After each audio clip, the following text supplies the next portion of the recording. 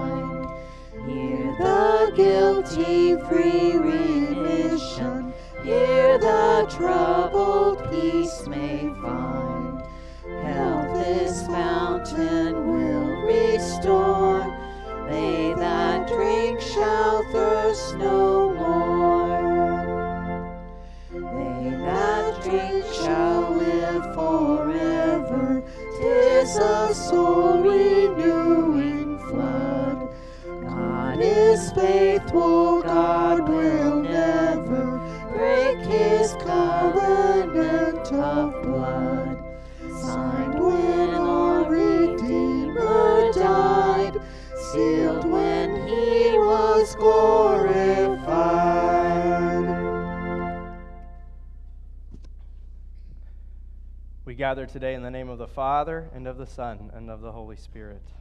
Amen. If we say we have no sin, we deceive ourselves, and the truth is not in us. If we confess our sins, God, who is faithful and just, will will forgive our sins and cleanse us from all unrighteousness. Let us then confess our sins to God our Father. Most, Most merciful, merciful God, God, we, we confess that we are by nature sinful and unclean. We have sinned against you in thought, word, and deed, by what we have done and by what we have left undone. We have not loved you with our whole heart. We have not loved our neighbors as ourselves. We justly deserve your present and eternal punishment. For the sake of your Son, Jesus Christ, have mercy on us. Forgive us, renew us, and lead us, so that we may delight in your will and walk in your ways, to the glory of your holy name.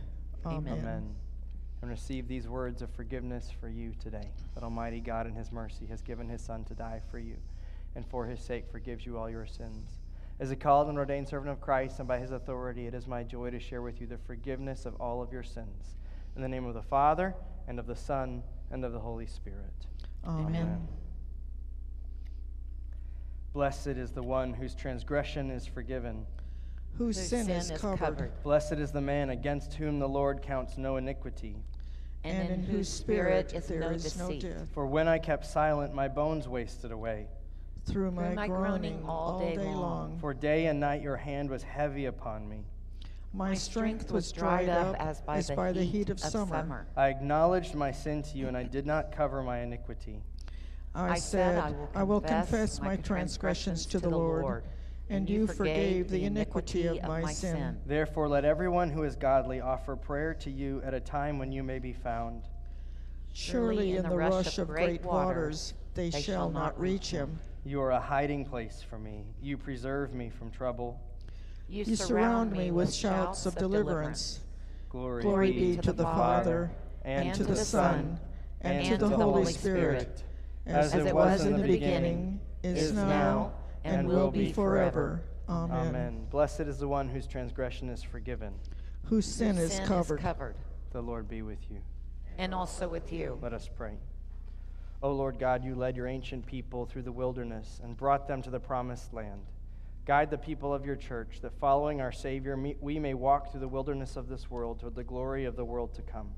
Through Jesus Christ, your Son, our Lord, who lives and reigns with you in the Holy Spirit, one God, now and forever.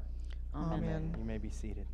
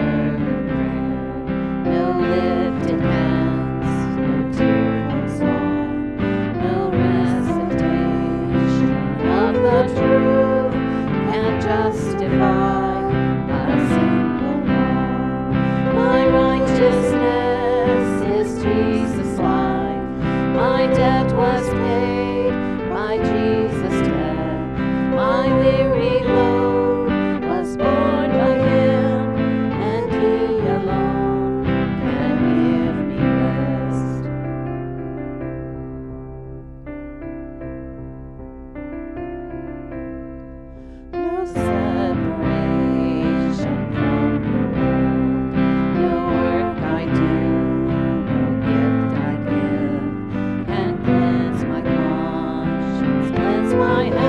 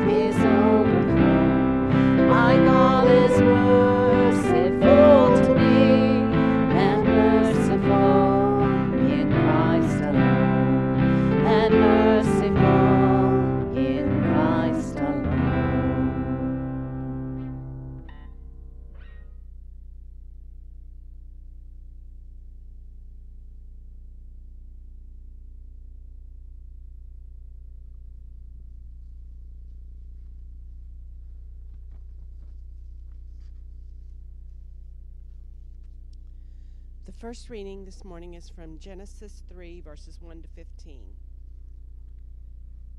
Now the serpent was more crafty than any other beast of the field that the Lord God had made.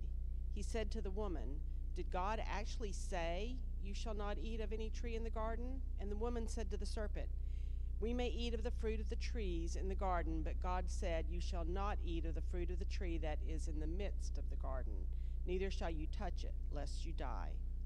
But the serpent, serpent said to the woman, You will not surely die, for God knows that when you eat of it, your eyes will be opened, and you will be like God, knowing good and evil.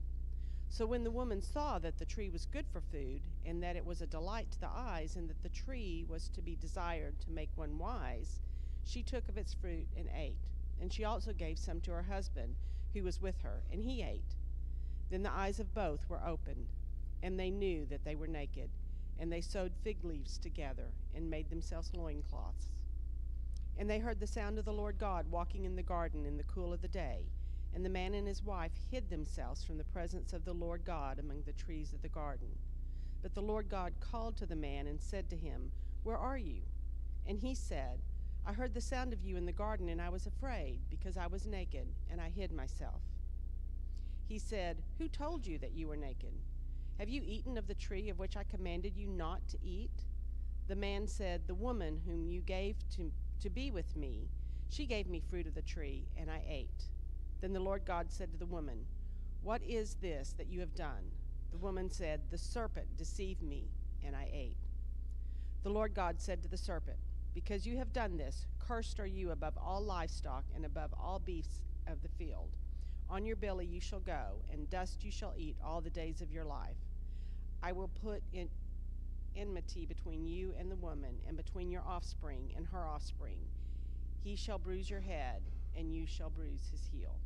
This is the word of the Lord. Thanks be to God. The second reading is from Romans chapter 5, verses 12 to 19. Therefore, just as sin came into the world through one man, and death through sin, and so death spread to all men because all sinned. For sin indeed was in the world before the law was given, but sin is not counted where there is no law. Yet death reigned from Adam to Moses, even over those whose sinning was not like the transgression of Adam, who was a type of the one who was to come. But the free gift is not like the trespass. For if many died through one man's trespasses, trespass, much more have the grace of God and the free gift of the by the grace of that one man Jesus Christ abounded for many. And the free gift is not like the result of that one man's sin. For the judgment following one trespass brought condemnation, but the free gift following many trespasses brought justification.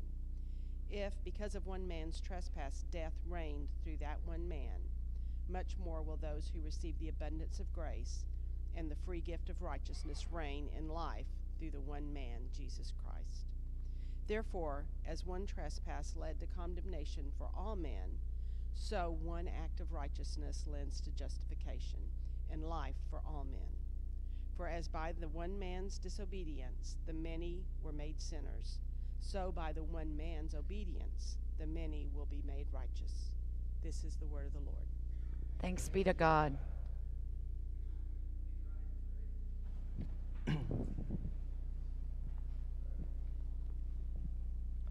The Holy Gospel according to St. Matthew chapter 4.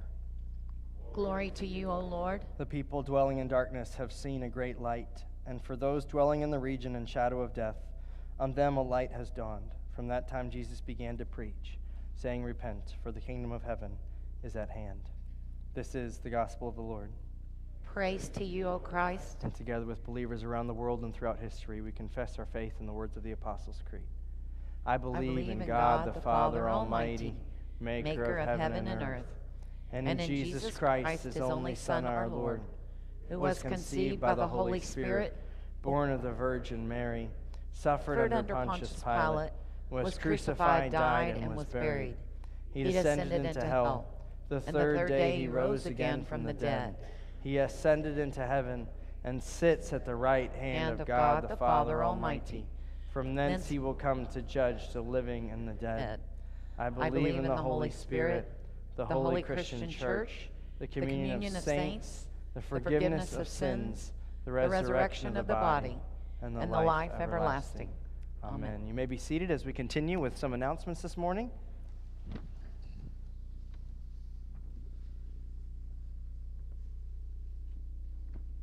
Good morning. I have several things to share with you today. The first is um, to remind you now that Lent has started that we have midweek services coming up. And so there are the dates up there on the screen. We will have a potluck beforehand so you can eat well and then come and worship with us. The second one is a new and exciting thing, which is a men's fellowship event. That means only guys can go. And it is a barbecue at the Losey's home uh, on next Sunday, right? Next Sunday um, at 5.30 and there's some instructions about what to do there. But all men are most heartily invited and to bring a friend and ladies have to figure out something else to do. Okay.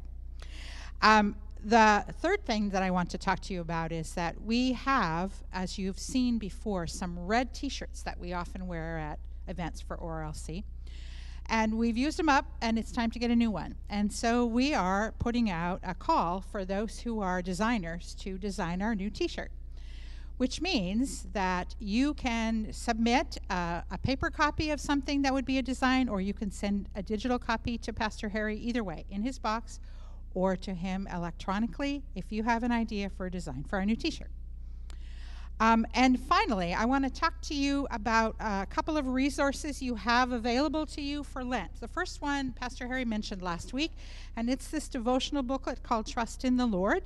Those are available to you um, on the Welcome Center. You can pick one of those up.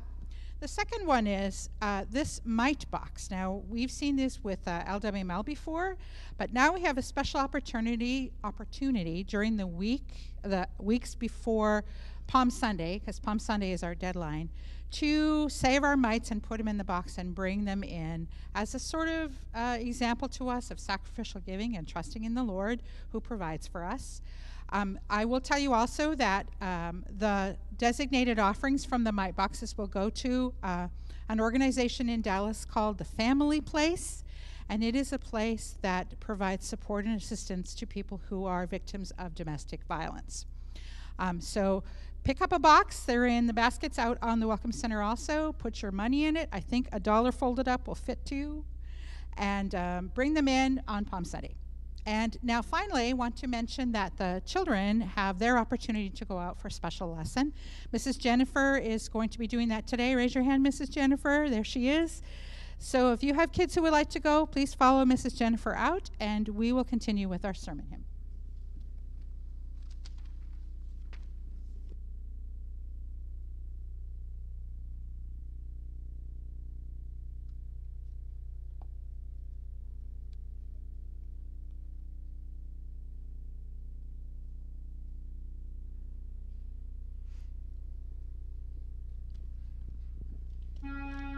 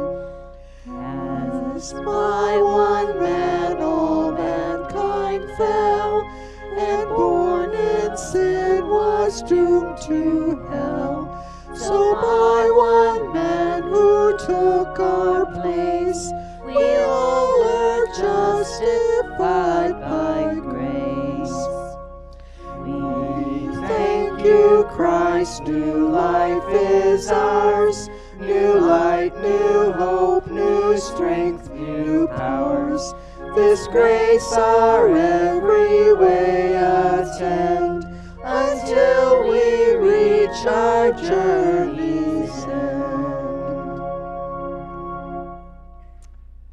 Let's come before the Lord in prayer.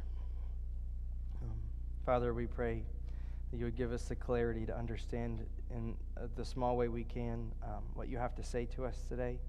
Um, that as we enter into the season of Lent, we would not leave the other season of Lent completely unchanged. Um, but every day we would let you work on us, um, that slowly and, slowly and slowly we would come to look more like you. We give you thanks, Father, for your mercy to us today. In Jesus' name, amen. Amen. So I have a short theological quiz for you today. So hopefully you're a little awake. Um, we're going to start with a softball question, okay? So on Mount Sinai, when Moses brought down the two tablets, how many commandments were on it? Ten. Okay, so start with start easy. Um, we're going to get escalate a little bit, okay? Second question for you.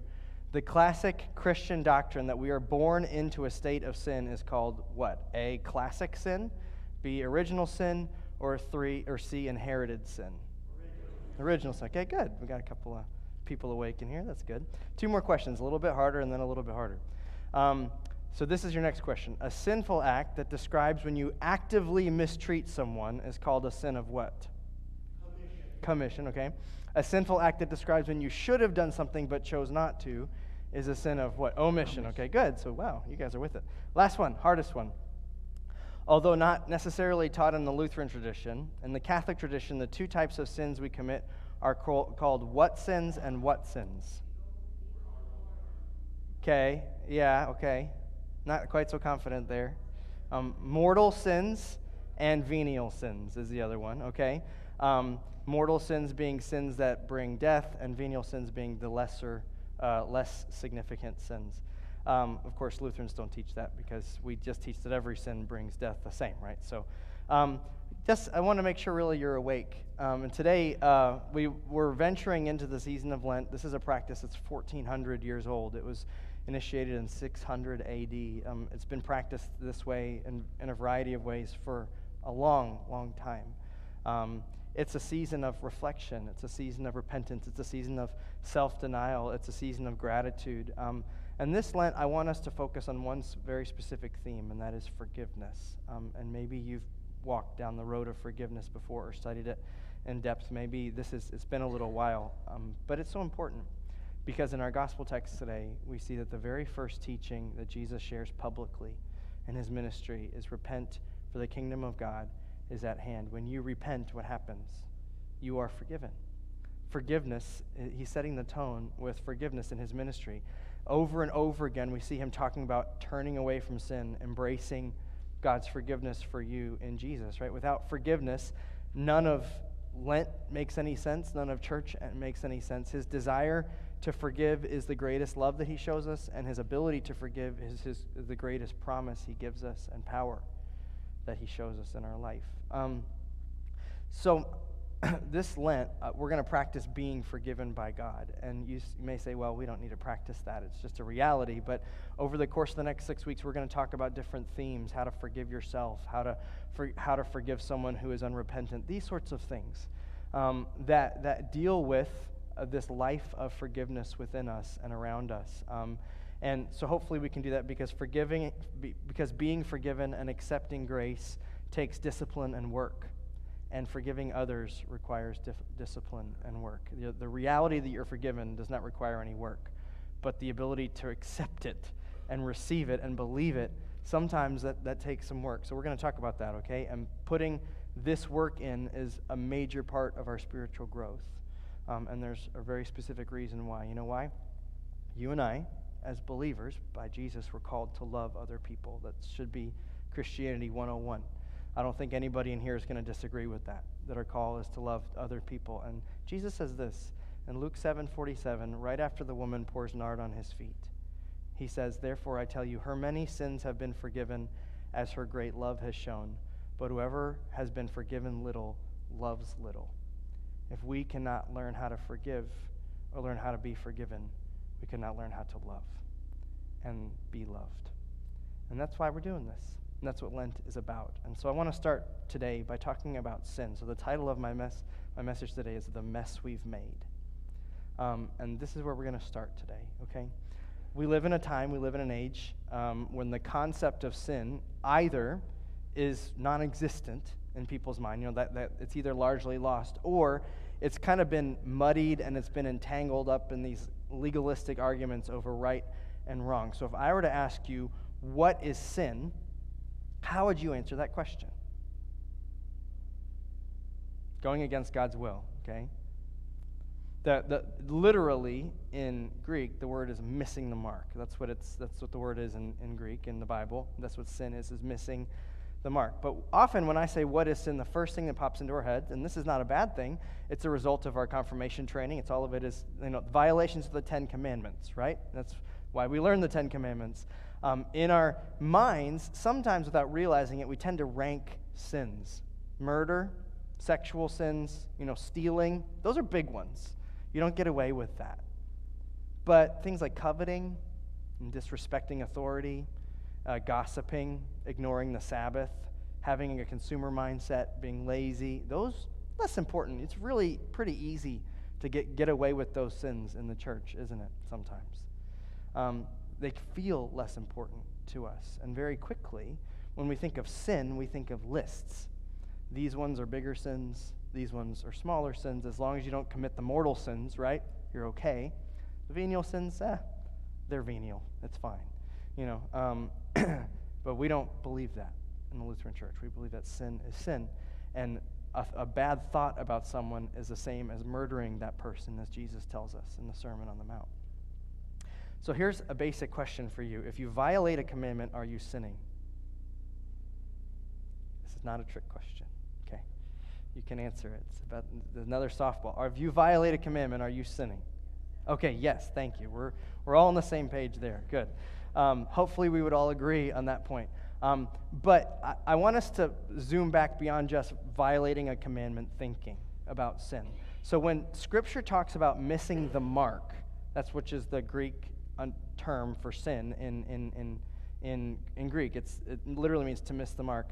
Um, the mark is not a specific action in a list. Okay? The mark is not, well, you should have given 10% and you only gave 2%. The mark is not, you shouldn't have stolen $20, you, you shouldn't have stolen anything. The mark is something different, okay?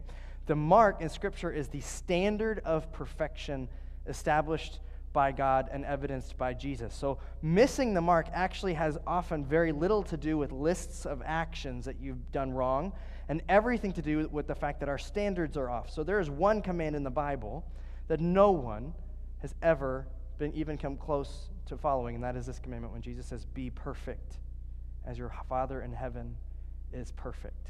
And that doesn't show up on a list, does it? Because when we compare anything in our life with perfection, suddenly check boxes and lists begin to seem a little petty um, if we start counting that way. So I'd like to talk about the law of God when you take it as a whole.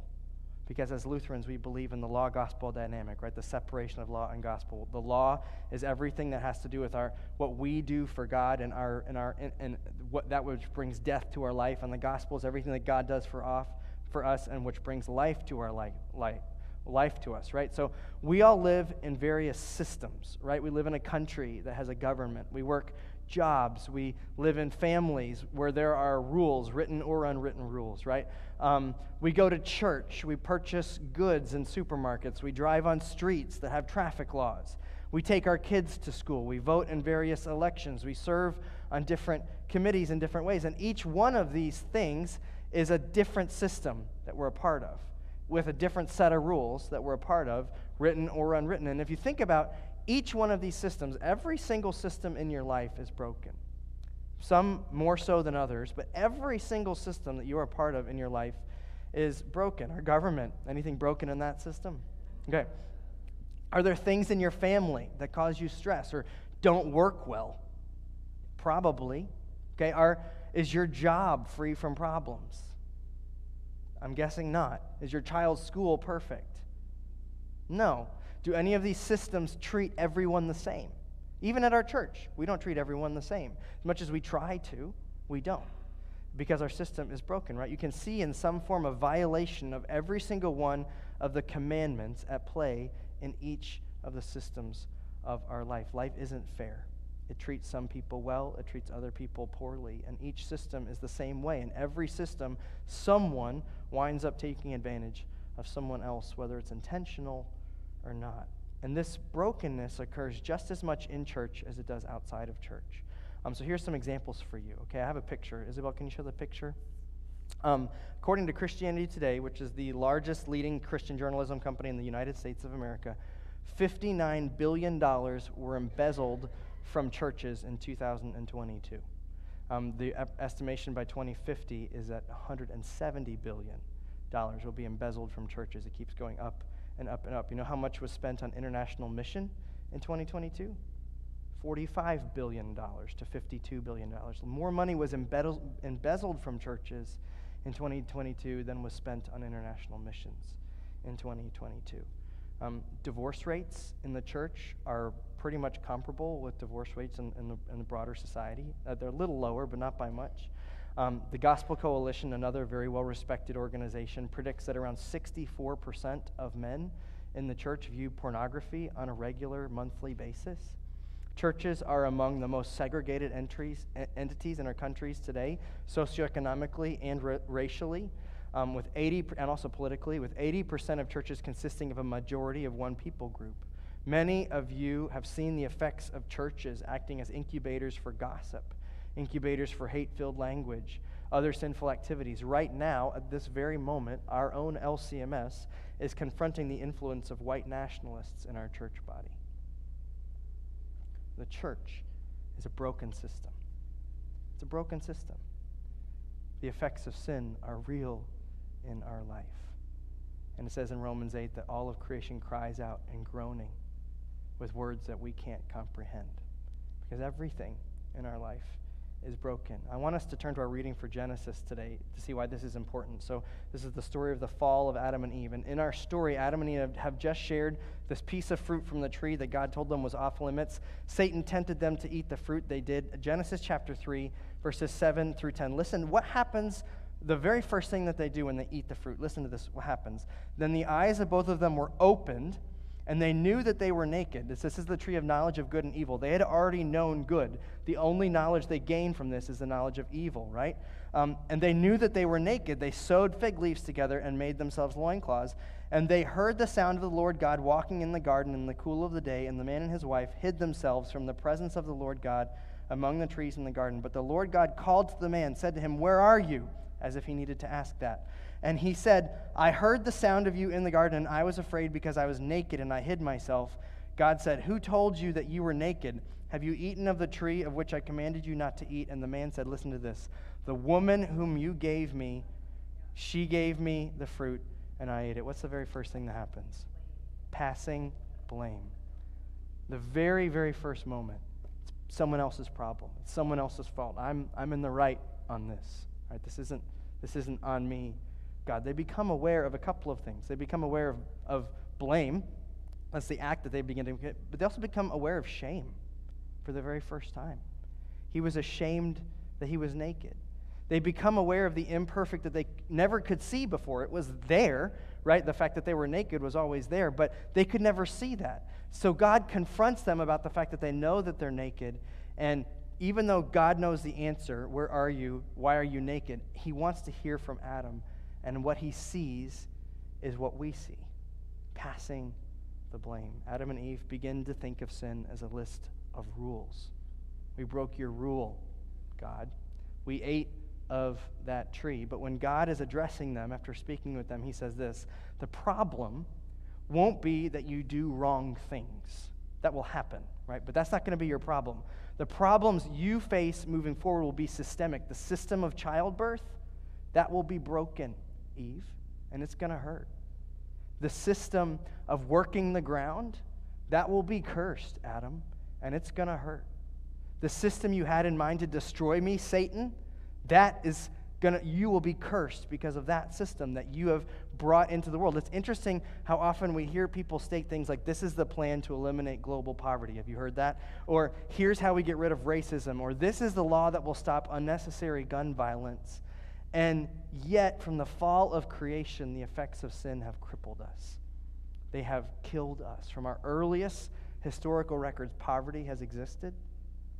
Children have starved to death from hunger. Wars have ravaged our world. Disease continues to plague us. Slavery has been a constant for us.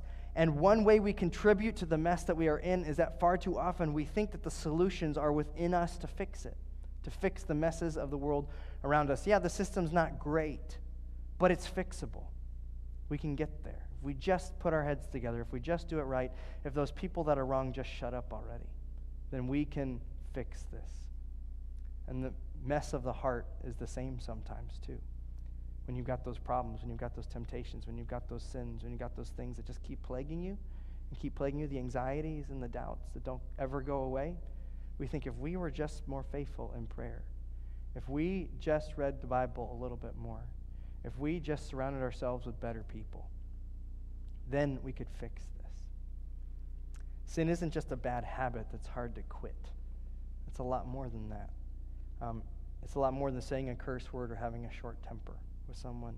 It's more than, than the obvious aggressive acts of destruction like murder and rape and abortion and terrorism and embezzlement, right? Um, i have shared this example to some in the past, but I'm going to share it again um, because it's easy to understand. I carry a cell phone. Many, how many of you carry a cell phone? Probably the vast majority of us in this room, right? I have an iPhone. It was made somewhere in China. I know that because I carry my cell phone with, with me because I purchased the phone I am supporting a system that causes young children in China to have to dip their hands in battery acid to make my phone. Um, I know that my money feeds corporate greed. I know that because I carry an iPhone, Planned Parenthood is receiving greater funding because Apple Incorporated supports them. And yet, I also see it's necessary to have a phone to do my job. Am I sinning? Yes. I am part of a broken system of sin that I contribute to actively by purchasing a phone. Something that may seem innocuous to a lot of people, may seem fine to a lot of people. I ask for forgiveness from God for the fact that I am willfully participating in a broken system. I have not yet boycotted Apple because of their broken systems. And if I did so, I'd have to boycott every single product I use because every single product I use or thing I have in my life is tainted by sin as part of this broken system of sin, right? When we turn sin just into a bad habit, we lose this greater sense of the cosmic war going on around us. So as we be- begin the journey to understanding and living in forgiveness, we need to start by being honest with ourselves. We cannot minimize how severely we participate in the pain of the world. It's not everyone else's fault. It's not the terrorists out there. It's not the liberals or the, or the conservatives out there. It's us. We participate in it. We do it ourselves. Bad people aren't limited to school shooters or con artists or gangbangers, right? You and I are pain producers in this world around us. We mess up in big and small ways, and really, there is no valid excuse for it. And until we understand the depth of that, we will never understand the depth of our need for Jesus in our life. Here is truth Jesus didn't come into your life to fix your bad habits. Okay? Jesus didn't come into your life to get you to swear a little less. You know? Um, Jesus didn't come into your life so you drive an electric car. You know, he, it, things are different than that. He came into your life. He did not die on a cross. He did not rise three days later so that fewer people would finally, more people would finally start tithing the way that they're supposed to be doing, right? Those things are tangential to the main purpose of Jesus. This is God's main purpose. This is from Paul, Romans chapter 5, verses 18 and 19, our second reading for today. Therefore, as one, tras- one trespass led to, the, led to condemnation and death for all men, so one act of righteousness leads to justification and life for all men. For as by the one man's disobedience the many were made sinners, so by the one man's obedience the many will be made righteous. Jesus didn't come to make you good, he came to make you alive and give you life in Him. The world is infinitely more broken than you realize, and I realize.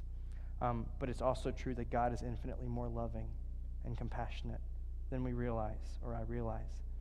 Our God is gracious and compassionate, It says in the scripture, slow to anger, abounding in steadfast love. And he has the power to make beauty out of all of our mess. So I'm going to finish with this story.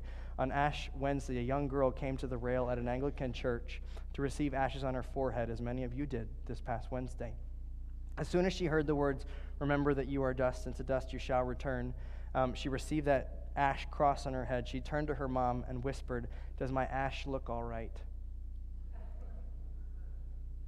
Confronting sin starts with yourself.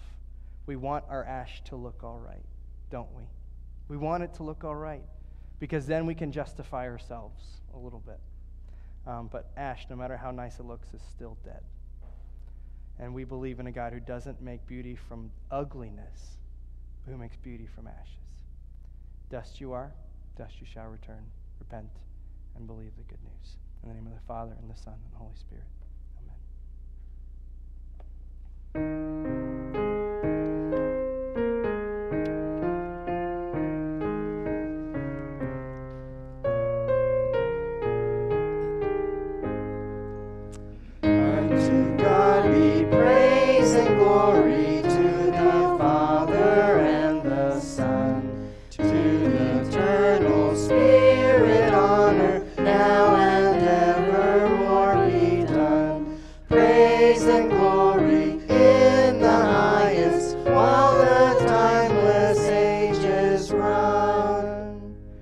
seated.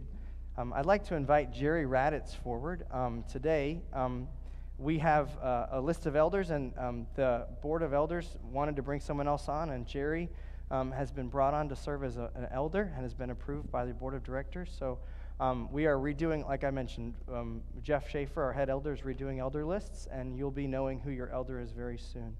but today we have the joy of welcoming Jerry as an official part of the team. So if you would uh, join me as we read God's word today. Beloved in the Lord, Holy Scripture admonishes us that all things should be done decently and in order. To that end, the Constitution and bylaws of this congregation establish various offices to which men and women are elected and appointed to serve. In so doing, the church follows the example of the early Christian church as described in Acts chapter 6. The twelve summoned the full number of the disciples and said, It is not right that we should give up preaching the word of God to serve tables. Therefore, brothers, pick out from among you seven men of good repute, full of the Spirit and of wisdom, whom we will appoint to this duty, but we will devote ourselves to prayer and to the ministry of the word. Jerry Raditz has been appointed to serve as elder of our church. Jerry, you have been chosen to fill specific offices and positions of responsibility at our Redeemer. You are to work with the pastors that our lives together in Christ may be orderly and pleasing in His sight. You are to see that the services of God's house are held at proper times and that the Word of God is purely preached and taught according to the Lutheran confessions, that the sacraments of Christ are administered according to his institution, that provision is made for the Christian instruction of young and old, that the erring are admonished, and that discipline is maintained. You are to see that the temporal affairs of the congregation are properly administered, and that proper support is provided for the workers of this congregation.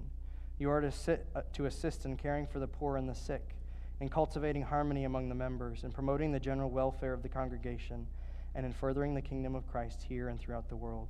While holiness of life and obedience to Christ are expected of all members of the congregation, it is especially important that you, as office bearer in his church, show yourself by word and example to be faithful to him in service and Christian devotion. In the presence of God and of this congregation, I therefore ask you, do you accept the duty, the, accept the office entrusted to you, and do you promise faithfully to carry out your duties, trusting in the Lord and conforming yourself to his word in accordance with the faith of the Evangelical Lutheran Church? If so, then answer, I do. I do.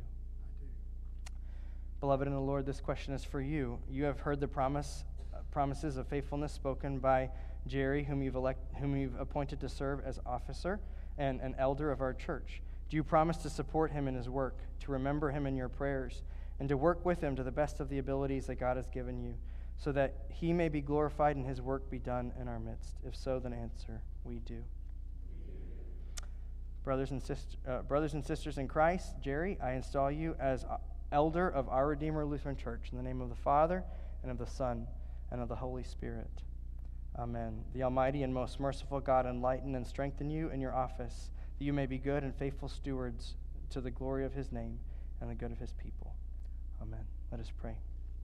Lord God, Heavenly Father, we give thanks that you have raised up Jerry for work among your people and our other elders as well. We humbly implore you to grant all of them, by your Holy Spirit, those gifts needed for the faithful carrying out of their tasks, most especially wisdom, strength, and willing hearts. Let your blessing rest on this congregation, strengthen the faith, quicken the love, and enkindle the zeal of its members, that your name may be glorified, and that here and in all places under heaven the kingdom of your Son may be advanced. We remember with thanksgiving those who have faithfully served your people and have now completed their time of service.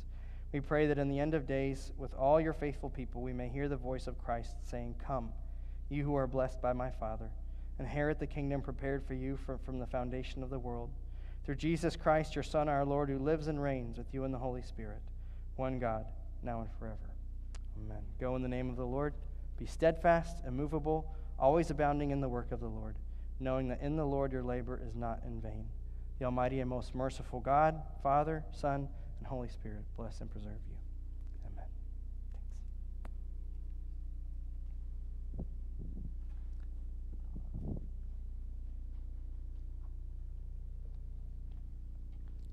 Please rise as you're able as we come before the Lord in prayer.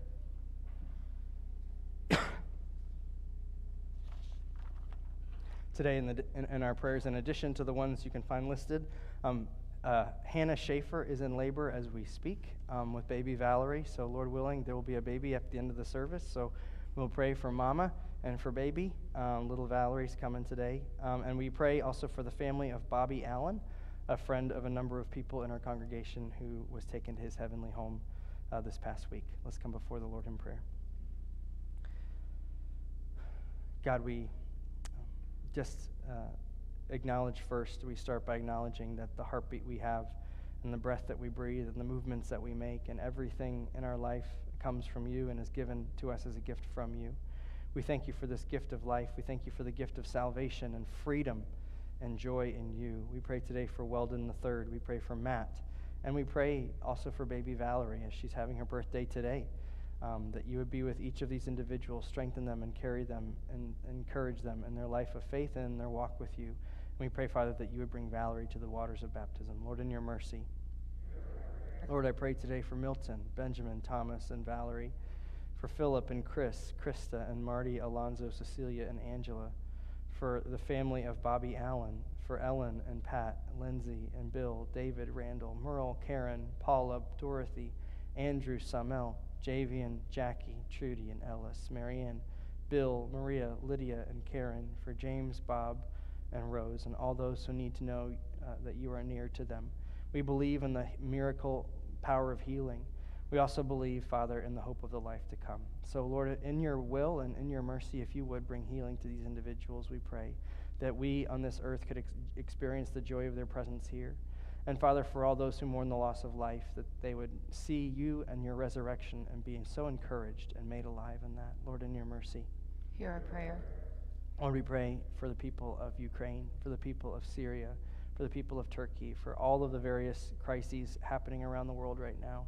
We pray for our disaster response leaders in this country and around the world, that you would be with those who, who provide aid, initial aid to these places of need.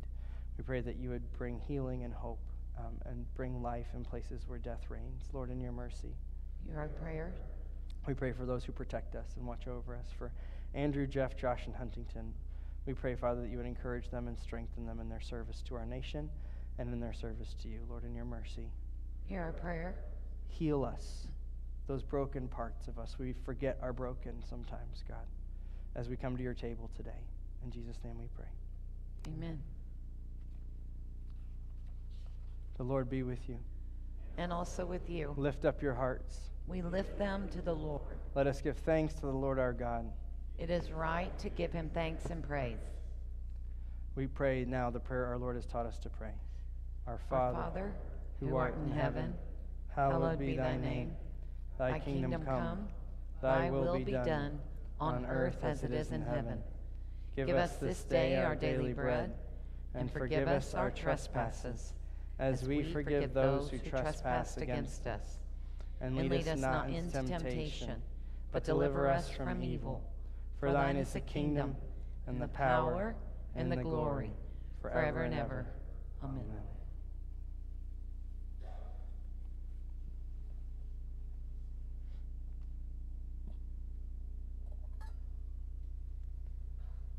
Our Lord Jesus Christ, in the night when he was betrayed, took bread. And when he gave thanks, he broke it and he gave it to his disciples, and he said, Take and eat.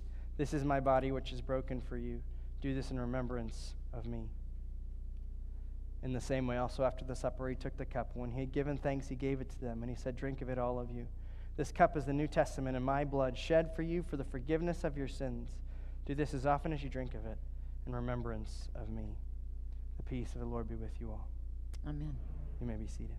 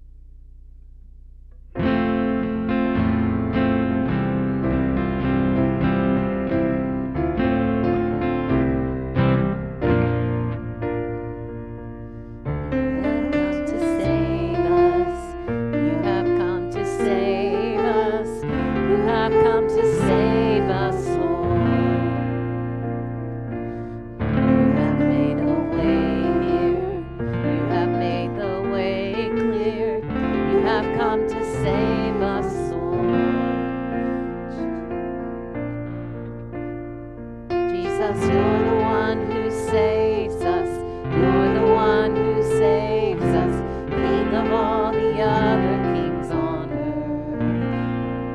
Jesus, you're the one who